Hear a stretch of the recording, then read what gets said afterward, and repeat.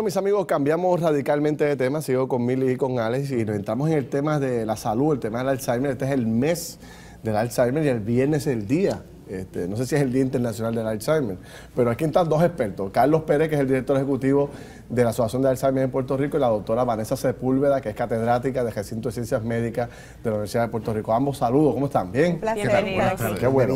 ¿Qué es ese, ¿Por qué este es el mes? ¿Es un mes, se celebra, se celebra a nivel internacional?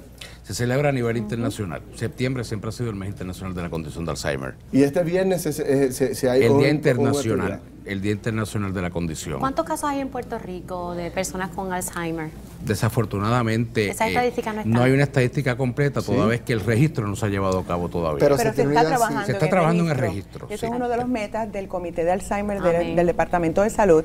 Y se, hasta ahora, ¿verdad? Se han reportado 18 mil casos escritos. Sabemos que hay mucho más. Sabemos mucho más. Y se está creando el registro electrónico de la condición de Alzheimer, que es una ley pero es una, es una enfermedad eh, que va en crecimiento, o sea, como el cáncer que sigue arropando. ¿Esta va igual? Bueno, y no solamente eso. Lo triste de esta condición de Alzheimer es que no tiene una causa, ah, tampoco tiene una cura.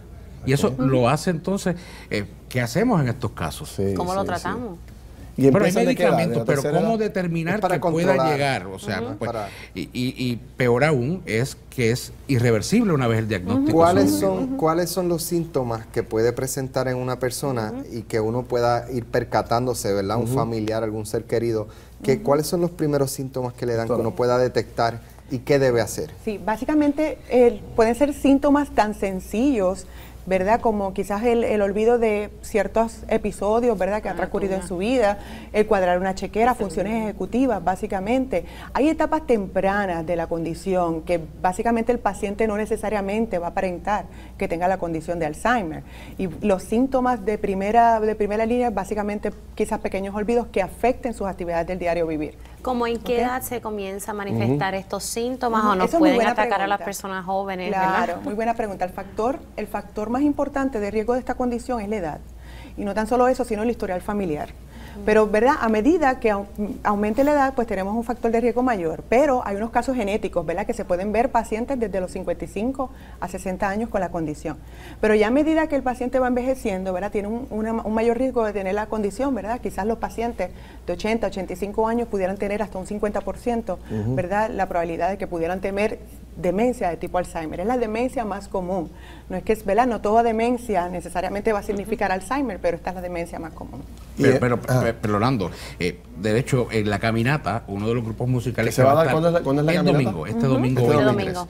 Uno de los integrantes de una de las orquestas que va a estar participando, su madre muere de la condición de Alzheimer.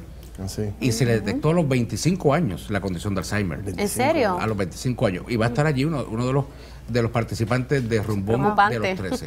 es un caso genético, básicamente eso no es lo común. No es común. Son casos no, porque yo imagino ya me voy a preocupar que a uno se le olvidan las cosas de momento. Puede dar a cualquier edad. Puede dar a cualquier edad. Eso eh, puede dar, Básicamente lo que quiere traer Carlos es que es una enfermedad que no discrimina y que probablemente... Eh, eh, los casos genéticos son aproximadamente de un 2%, menos de un 5%, o sea, no es lo más común. Son excepciones. Son excepciones. Lo más común son los casos, ¿verdad?, de lo que se llama el late onset ¿Y cuándo esperan tener ese registro? bueno, estamos trabajando en eso en, en, en cuanto a la plataforma electrónica. ¿Qué falta en particular para que eso se dé?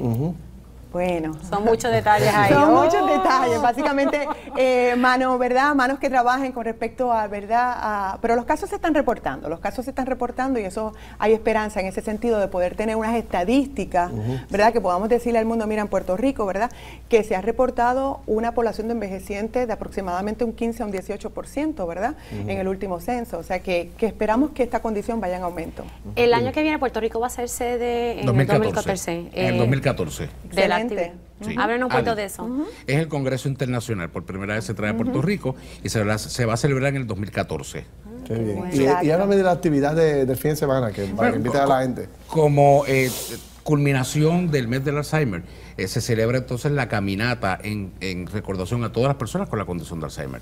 Esta actividad se va a llevar, como bien hemos dicho, el domingo 23, que es este próximo domingo, a partir de las 8 de la mañana hasta las 3 de la tarde. Es un evento para toda la familia. A pesar de lo solemne que es la condición de Alzheimer, pues hemos querido hacer una fiesta de pueblo para el pueblo para que la gente entienda qué es la condición de Alzheimer.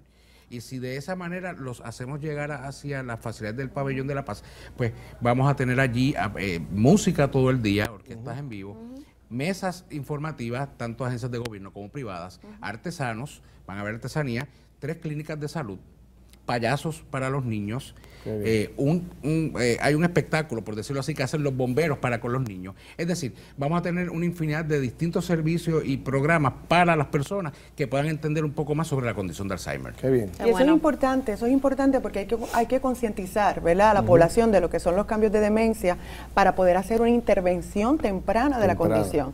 Porque, ¿verdad? Más temprano analicemos, ¿verdad? O estudiemos la condición, más temprano podemos intervenir eh, en cuanto a tratamiento y detener el progreso de la condición. que hasta ahora lo que tenemos disponible básicamente son tratamientos para detener el progreso de la condición. Bueno, pues esta es una enfermedad muy importante, este, así que siga los consejos para que eh, pueda tener buenos resultados. El viernes, todo el mundo, ¿cuándo es? El viernes, ¿verdad? El viernes es el Día Internacional de la, viernes y la caminata. la caminata. Muy bien. Bueno, gracias doctora, gracias Carlos, agradecido a los dos eh, por esta información. Seguimos conversando sobre este tema. Cuando regresemos hablamos de Leopoldo Figueroa un gran ilustre puertorriqueño, José Luis Colón nos trae su libro y también hablamos de eh, con Emanuel Hernández Agosto, tiene un apellido ese hombre ahí, Hernández Agosto. Vamos a hablar con el decano de la Escuela de Profesionales del Sistema Universitario Nacional Venimos rápido.